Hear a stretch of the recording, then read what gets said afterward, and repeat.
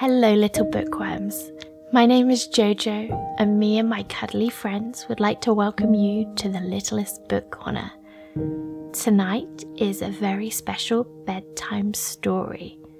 So make sure you have a cuddly friend or a blankie for you to snuggle with as you listen to tonight's story time. I have a very special cuddly friend joining me in the Littlest Book Corner tonight. This slumberkins is called Slumber Sloth.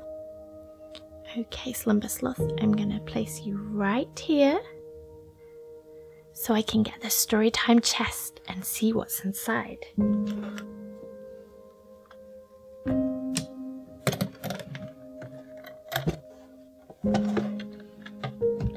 And tonight's book is Sleepy Time Rhymes Slumber Sloth by Kelly Oriard with Callie Christensen and illustrated by Theresa Thomson. Okay, little bookworms, let's get started. Slumber sloth, it's time for bed. It's time for bed, you sleepy head. I know you think it's hard to do, but listen to my words and I will show you. Now it's time to calm your mind. Relax your head and heart before bedtime. Listen to me count. One, two, three. Breathe in and out on each number very slowly. One, two, three. Now it's time to shut your body down, starting at your feet, then up to your crown. Notice your feet, your heels to your toes. Squeeze them tight. Now let them go. Notice how calm your feet now feel. Now let's do your legs. It's the same deal. Squeeze them tight. Now let them go. Feel them melting like the snow. Halfway there, it's time to breathe deep. Big breaths on my count. One, two, three.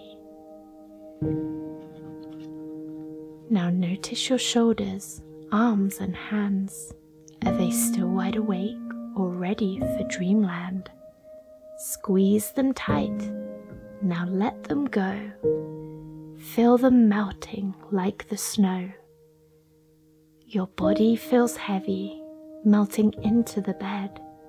Now turn your attention to your sleepy head. Give a big smile. Now let it go. Feel your cheeks melting like the snow.